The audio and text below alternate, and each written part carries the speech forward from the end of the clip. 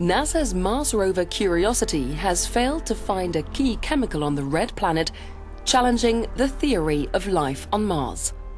According to data collected by the robot, the Martian environment lacks methane. This comes as a surprise to researchers as previous information had indicated positive detections.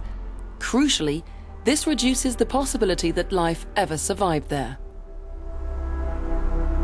Over the past decade, scientists using satellites and telescopes on Earth have reported plumes of methane in the Martian atmosphere. These small but potentially crucial amounts of methane would have indicated the possibility of life on the red planet. On Earth, the vast majority of methane in the atmosphere is caused by organic life. The rover is now 14 months into a planned two-year mission to search for signs of organic life. This latest discovery adds a new twist to the debate about possible life on Mars. Not all scientists are convinced that methane is missing there, and according to the Twitter account of the rover itself, there is still a chance that life once existed on Mars. On the 19th of September, one of its messages read, lack of methane doesn't mean Mars never supported life. Plenty of Earth organisms don't produce the gas. The debate is open. It's hoped an upcoming Indian mission will provide further information on the question. India's Mars Orbiter mission, scheduled to be launched at the end of October, will explore the existence of life on the red planet.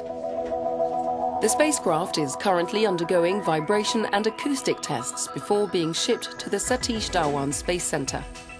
It will travel 10 months in space before reaching the red planet, where it's scheduled to land in September 2014.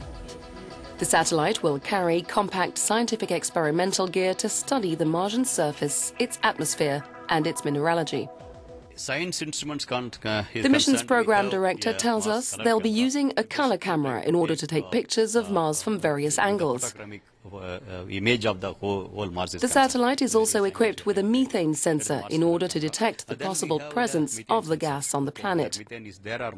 Methane is there or not try to understand that. Yeah, there's a methane sensor we're. And there will also be an infrared thermal imaging camera. Uh, thermal imaging camera.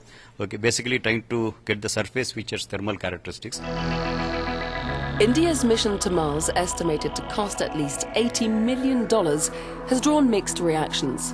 While India defends it as an honourable scientific pursuit, critics denounce it as a mere showpiece and question a political decision to spend this amount on space exploration in a country where millions of people still lack clean drinking water and suffer from malnourishment.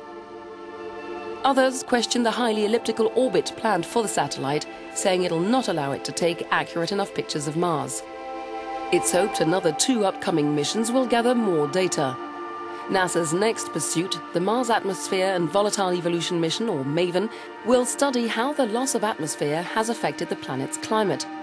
The probe is due to launch in November this year and arrive in Mars's orbit in September 2014. Meanwhile, the European and Russian space agencies are working together on the new ExoMars mission for 2016, which will include an orbiter to search for evidence of methane and other atmospheric gases that could signify active biological or geological processes. In the meantime, Curiosity's job is not over. The probe will be performing more sensitive tests for methane in the coming months.